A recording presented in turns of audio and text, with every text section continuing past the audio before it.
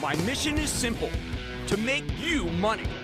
I'm here to level the playing field for all investors. There's always a bull market somewhere, and I promise to help you find it. Mad Money starts now.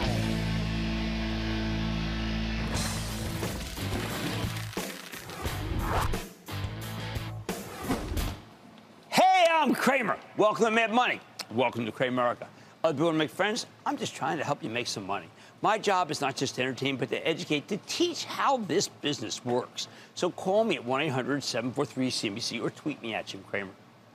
The crumbling crypto world may have stolen the show today, but make no mistake about it, the return of the bull is the real story. Yes, the emperor of crypto, Sam Bankman Fried, proved to have no clothes, or at least really bad ones. And yes, billions of dollars did vanish in thin air.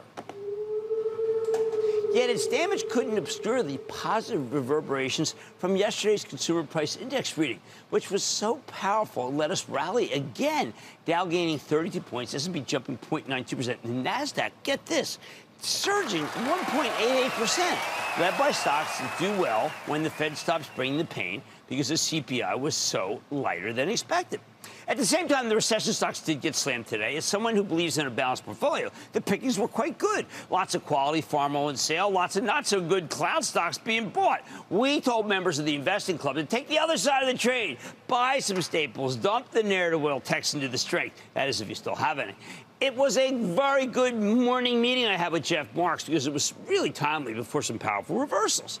We know there'll be further revelations about crypto, even as all the king's horses and all the king's men are working hard to put Humpty Dumpty coin back together again. Hey, uh, that's a good name for a currency, Humpty Dumpty currency.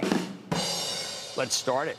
But crypto is a sideshow, people. What matters next week as we go into the game plan is whether inflation will stay tame. Because tame inflation means the Fed can slam the brakes on the economy or it can stop.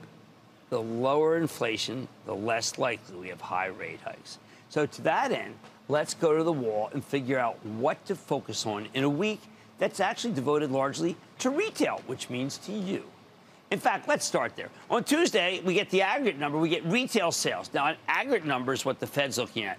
And while I, while I want retail stocks to do well, oddly, I have to root for a weak number there with little inflation in order to make that happen. See, I'm concerned that the market's gotten a little bit of a Panglossian sheen going. But if we see weak retail sales and learn that things are getting very promotional in the key apparel sector, well, then the market can stay strong. Remember, we're in bad news is good news mode with these macro numbers. The worse retail gets, the less damage the Fed needs to do before they declare victory. And apparel, as anyone saw, if you actually broke down the index of the CPI, is a gigantic part of. Monday's pretty quiet, except for a report from a company called HighPeak Energy that was profiled a long time ago. I expect it to be stellar. Now, most of the oil companies that I focus on these days are all about conserving cash and returning it to shareholders. HighPeak, on the other hand, is just a plain old fashioned go for the gusto driller, and it's got tremendous growth it is definitely what you want to own if you think that oil prices are going much higher. Tuesday, aside from the grandiose retail numbers, we hear from Walmart. All right, now Walmart, all I can tell you is that the vast majority of Wall Street has decided this one's going to be good, maybe even a blowout quarter, and the stock's going to keep running.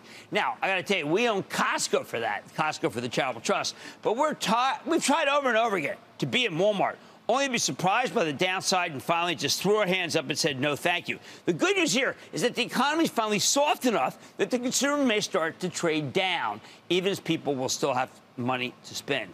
And that cuts, and always has, in favor of Walmart. On the opposite side of the equation, equation there's lots of money bet against the stock of Home Depot because housing's so soft. I think there's more to Home Depot than just new construction. Same goes for Lowe's, which is the next day. Uh, it's entirely possible that both companies are winning because of renovations. Contractors are Home Depot's wheelhouse. Lowe's does great with do-it-yourselfers, and they remodel plenty. I don't expect either one of these to knock it out of the park. But if they can talk about how housing is not a dead industry, I am sure that Toll Brothers, Lennar, Horton, and Pulte will continue to run as they have ever since Horton reported, and we got that cooler CPI data earlier in the week. Remember, we visited Home Depot not that long ago. There's so much more to this company than just say timber.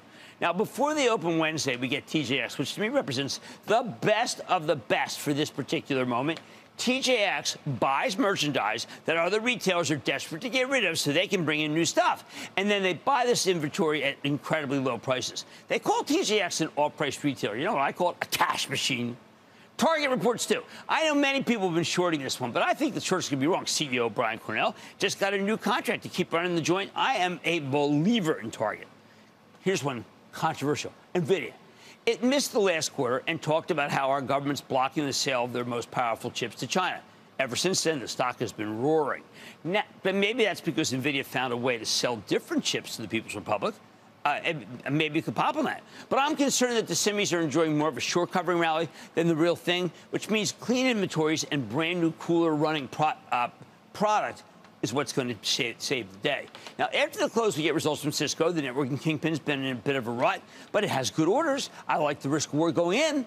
Here's a fun one on Wednesday. Bowlero. Remember we met them? This is a SPAC that's rolling up bowling alleys across the country, making them real cool, too. I, I happen to love them. It's just a fun thing. They're printing money. I, I, I want to own this one ahead if you want a speculative stock. Now, Thursday, well, it starts like at like four in the morning. It's like Alibaba. You know, you come in, it's going crazy. Now, this is the largest e-commerce play in China. I want to be as candid as possible. I think the Chinese government wants a good number here, so they'll give you a good number.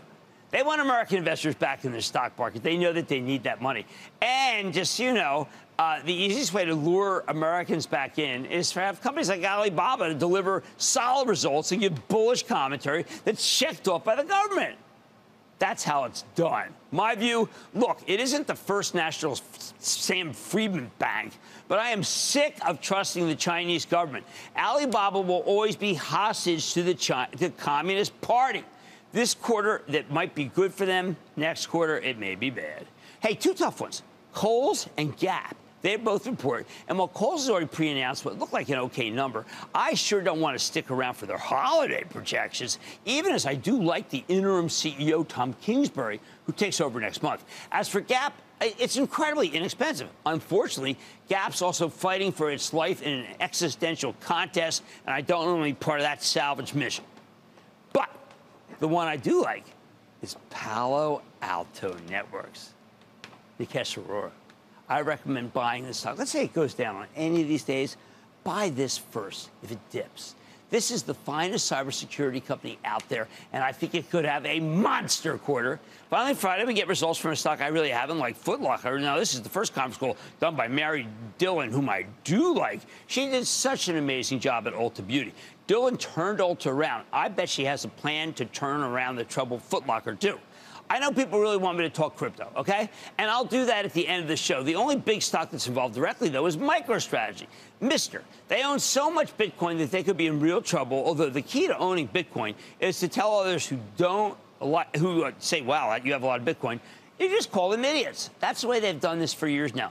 Oh, you don't like my position? That's because you're an idiot. I used to argue like that in fifth grade. I think the ongoing collapse of all things crypto will no doubt be the talk of the week. I'd rather make money in good stocks and throw away the bad ones. Hey, one more word on crypto before we move on. I've been screaming at the government, any part of it, to regulate the crypto market to protect you, and I've failed, okay? I've done it endlessly. But at this joint, I, at this point, I got to tell you, I, I, hope the regulators recognize the barn doors opened and the horses are all gone. Bottom line, this market's got a lot of exciting sideshows, but in the end, what matters is inflation. If we get more signs that it's moderating next week, this market can stay strong. Otherwise, the rally will just run out of steam. Daniel in California. Daniel. Hey, Jim. I'm actually in Brazil, hoping to catch some Formula One this weekend. Brazil? Uh, this, oh, my yes. God, are you lucky? Yeah, I got a lot of relatives down there, but I can't find them. Maybe you can look for them. What's going on? Uh, this company had a great Q3 and has recovered nicely uh, from its 52 week low. What are your thoughts on Intuitive ISRG?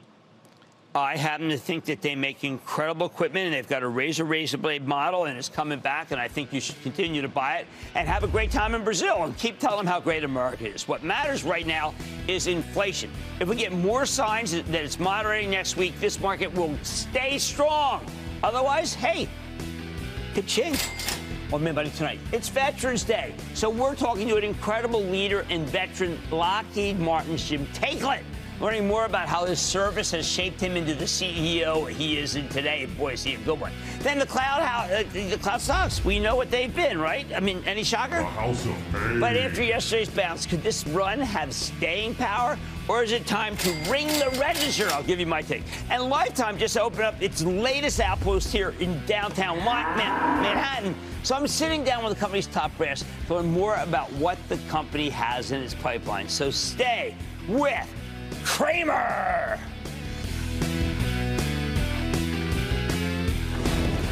Don't miss a second of Mad Money. Follow at Jim Cramer on Twitter. Have a question? Tweet Cramer. Hashtag mad tweets. Send Jim an email to madmoney at cnbc.com or give us a call at 1 800 743 CNBC. Miss something? Head to madmoney.cnbc.com.